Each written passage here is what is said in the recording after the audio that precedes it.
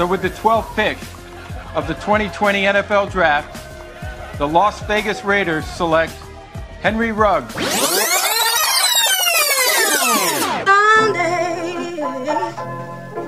someday someday I, I wanna wear a starry crown. The Las Vegas Raiders select Henry Ruggs. Someday, someday, someday, someday. We're gonna make you a Las Vegas Raider. Congratulations. All right, man. I love you, brother. Congrats. Lay down like God did on Sunday. Sunday, Sundays. I remember this on Sunday.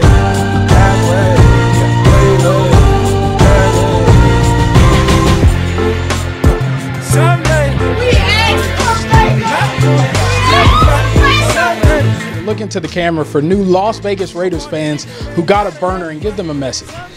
Uh, I just want y'all to know, y'all, I won't let y'all down. Y'all won't be disappointed. Hey, I'm ready to go. Just know when I get there, you'll see me. Big congratulations to my little brother Ruggs on getting drafted 12th overall, first receiver off the board. That's big time.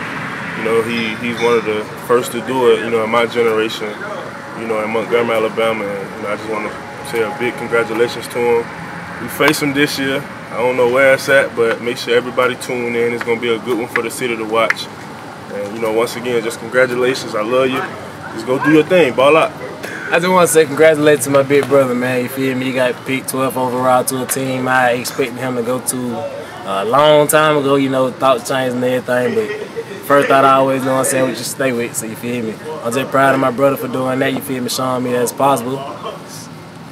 And just, you know what I'm saying, making our dream come true, because that's something that we always dreamed about. We never thought it'd come true, you feel me? He's come from a long journey. Um, he's He's got a long way to go. I'm extremely excited for him and the place that he's come to and the things that he's gone through to get here.